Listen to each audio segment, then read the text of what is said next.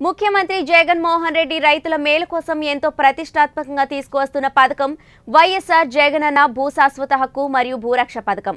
ఇది రైతులకు ఎంతో మేలు జరుగుతుందని ప్రజలు ఈ పథకంలో మమేకమై సద్వినియోగం చేసుకోవాలని నెల్లూరు జిల్లా ఆర్డీఓ సరోజినీదేవి పిలుపునిచ్చారు. నెల్లూరు జిల్లా నాయుడుపేటలో రెవెన్యూ సిబ్బంది మరియు అధికారులు సర్వేయర్లు కలిసి ఈ సంవత్సరంలో వైఎస్ఆర్ జగనన్న భూశాశ్వత హక్కు మరియు భూరక్ష పథకాన్ని ప్రజల్లోకి తీసుకువెళ్ళాలని ఆర్డీఓ సరోజిని ఆధ్వర్యంలో నాయుడుపేట గాంధీ మందిరం నుంచి అంబేద్కర్ కోడెల వరకు కొవ్వొత్తుల ర్యాలీ నిర్వహించారు.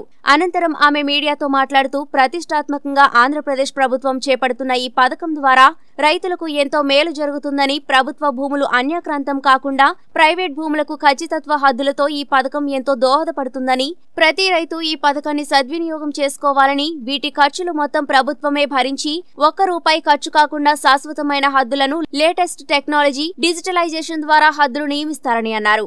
భారతదేశంలోనే ఆంధ్రప్రదేశ్ మొట్టమొదటిసారిగా ప్రవేశపెడుతున్నారన్నారు. ఈ పథకాన్ని రెవెన్యూ సిబ్బంది అధికారులు సర్వేయర్లు అందుబాటులో ఉండి రైతుల వద్దకు వెళ్ళి అన్ని సౌకర్యాలు కలిగిస్తారని ఈ సందర్భంగా ఆర్డీఓ సరోజిని తెలియజేశారు. ఈ కార్యక్రమంలో రెవెన్యూ అధికారులు సర్వేలో పాల్గొన్నారు. ఇరవై ఇరవైలో సర్వే చేపట్టడం అనేది చాలా గొప్ప విషయం. చాలా ప్రతిష్టాత్మకంగా ఆంధ్రప్రదేశ్ ప్రభుత్వం ఈ పథకాన్ని చేపట్టింది. ముఖ్యంగా ఇందులో చాలా సమస్యలకి చెక్ పెట్టేదానికి ఈ సర్వే ఎంతగానో ఉపయోగపడుతుంది.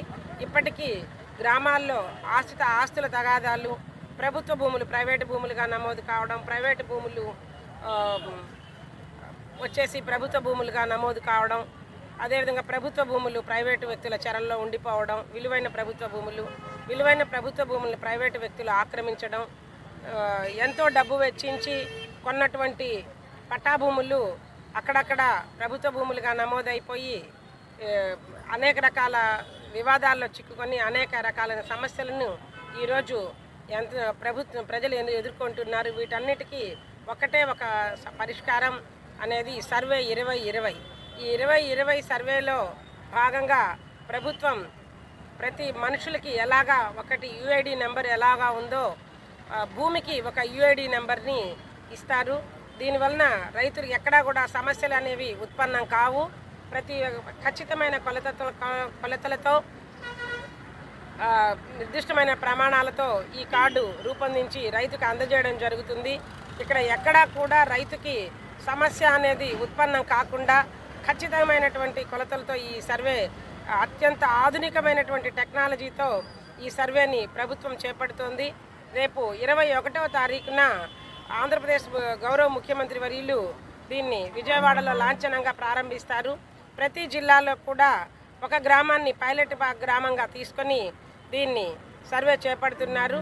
మన ఎస్పీఎస్ నెల్లూరు జిల్లాలో మనకు గూడూరు డివిజన్ పరిధిలోని రెడ్డిగుంట అనేటువంటి గ్రామంలో ఈ మనం పైలట్ ప్రాజెక్టు కింద చేపడుతున్నారు. ఆ తదుపరి డివిజన్కు ఒక గ్రామాన్ని ఎంచుకొని మన డివిజన్లో తిమ్మాజీ కండిక గ్రామాన్ని ఎంపిక చేయడం జరిగింది. ఆ తర్వాత మండలానికి ఒక గ్రామాన్ని ఎంచుకొని ఈ సర్వేని లాంఛనంగా ప్రారంభించి తదు మూడు విడతల్లో అన్ని భూముల్ని సర్వే చేయడం జరుగుతుంది.